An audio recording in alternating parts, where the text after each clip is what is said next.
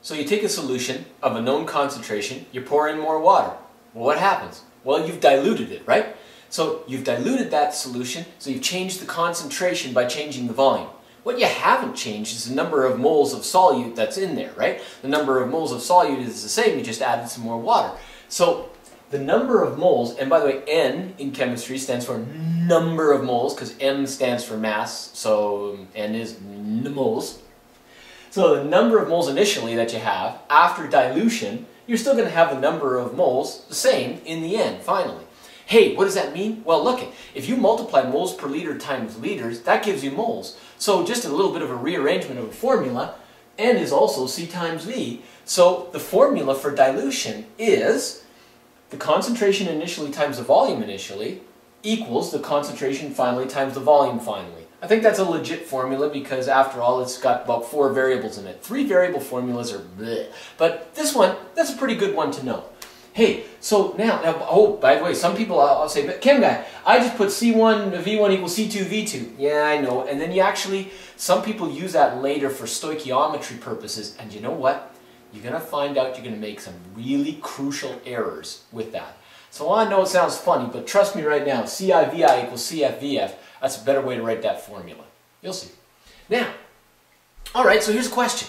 You take a concentration, a solution with a concentration of 0.1 moles per liter, and you dilute it to, uh, oh, okay, let's try that again. Okay, so here's a question. Calculate the volume of a 0.1 mole per liter solution from a 200 milliliter that's made from a 200... Okay, so now here's a question. You have a solution that's 0.3 moles per liter at 200 mils and you dilute it to 0.1 moles per liter. So you read the question, calculate the volume of a 0.1 mole per liter solution made from 200 milliliters of 0.3 mole per liter, liter nickel 2 chloride. Okay, so how do you do that? Well, you use the formula, you rearrange, and then you solve. Now,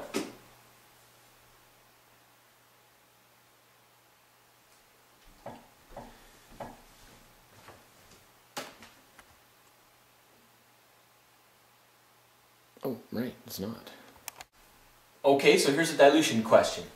Calculate the volume of a 0.10 mole per liter solution made from 200 milliliters of 0.30 mole per liter. In this case, nickel 2 chloride could be anything. Alright, so how do you do that? You recognize you got three terms in here and you're looking for a fourth one in a solution question, that's a dilution question. And look at it logically, even if it doesn't say the word dilute in here, you're going to be looking at, well, you're going from a certain volume and concentration to a new concentration. What's the volume? There's your formula right there. You know how I like to do this? I like to go CIVI equals CFVF. This is good. This is good procedure for being able to express your answer properly. You write down the formula. You isolate the variable that you're looking for. In this case, we're looking for which volume? Calculate the volume of this, but it's made from these two. So that means these two are the initials here. This is the final concentration. You're looking for the final volume. What do you do to be able to find and solve for VF here? You've got to divide both sides by concentration final. So if you divide this side by CF, VF is isolated, and the formula is CIVI over CF, right? So you write the formula, you manipulate the formula, and now, on the same line, just plug in the number. So your initial concentration is 0 0.30 moles per liter, and your initial volume is 200 mils. Now you're going to say, Chemguy, Chem guy, wait! You've got moles per liter, and then you've got liters. And by the way, you never use big M in any kind of stoichiometry cancellation, right? You always go moles over liters, moles per liter. But in this case, in a dilution formula, what happens is, even though that's in liters and that's in milliliters, hey, hey, hey, guess what? You're dividing here by a concentration final of 0.10 moles per liter. The big M's cancel, and you're going to be left with milliliters. That's all. So don't freak out. It's okay. As long as your units are consistent here, you'll be all right. So, of course, if that was in uh, liters, this, the answer is going to be in liters. You understand that. So, when you multiply those two and divide by that, you get 600 milliliters. And you know what? Now, I know this sounds funny, but that is the answer. And of course, that makes sense, doesn't it? Because if you're going to dilute this solution to th this from this to this, you're going to have to add water. How much are you going to add? you're going to add 400 milliliters of water to finally end up with a 600 milliliter solution. Be careful, your teacher might ask you that. They might not ask what's the final volume, they might ask how much water is added. Be careful.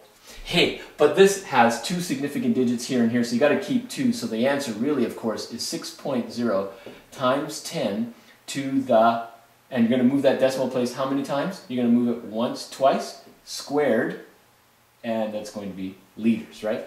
Or it's going to be 0 decimal 60 liters if you wanted to write that by moving this three times over and writing 0 decimal 200 liters in for that volume there. Okay, so that's how you do a dilution question.